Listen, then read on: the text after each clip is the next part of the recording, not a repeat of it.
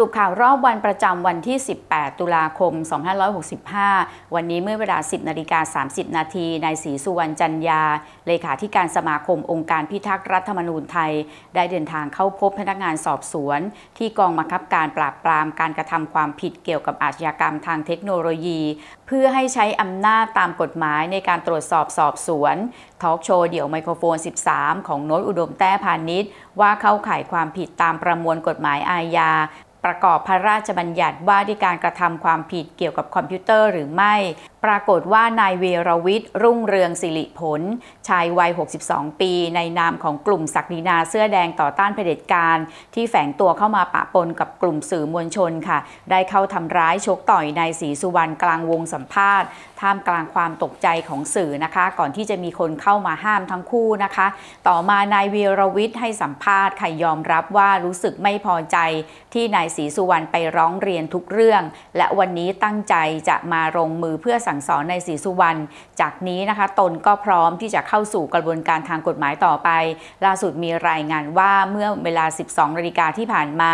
นายศรีสุวรรณได้เข้าแจ้งความดำเนินคดีกับนายวีรวิทย์เรียบร้อยแล้วค่ะ สำนักข่าวต่างประเทศรายงานว่านายวิทารีคิชโก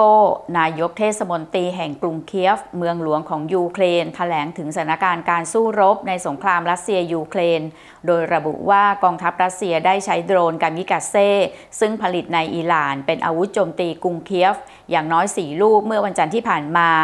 ส่งผลให้อาคารหลายแห่งในย่านเชฟเชนคิฟกี้ ซึ่งเป็นย่านใจกลางเมืองได้รับความเสียหายหลายหลังด้วยกันนะคะ รายงานข่าวแจ้งว่าพบโดรนกามิกาเซ่ลำแรกค่ะ เข้ามาโจมตีกรุงเคียฟเมื่อเวลา 6 นาฬิกา 30 นาทีของวันจันทร์ที่ผ่านมา ตามเวลาท้องถิ่นนะคะ ก่อนที่จะมีโดรนกามิกาเซ่ลำอื่นๆ โจมตีตามมาจนกระทั่งถึงเวลา 8 นาฬิกา 30 นาทีท่ามกลางเสียงไซเรนเตือนภัยทางอากาศดังขึ้นเป็นระยะระยะ เบื้องต้นยังไม่มีรายงานเกี่ยวกับผู้เสียชีวิต หรือได้รับบาดเจ็บจากเหตุการณ์ในครั้งนี้นายสาธิตปิตุเตชะรัฐมนตรีช่วยว่าการกระทรวงสาธารณสุข และในฐานะรองหัวหน้าพักประชาธิปัตย์ ให้สัมภาษณ์ก่อนการประชุมคณะรัฐมนตรีเช้าวันนี้ค่ะ ถึงกระแสข่าวว่านายสาธิตอาจย้ายออกจากพักประชาธิปัตย์และไปอยู่พักภูมิใจไทย โดยนายสาธิตยืนยันว่าตนไม่ได้ไปไหน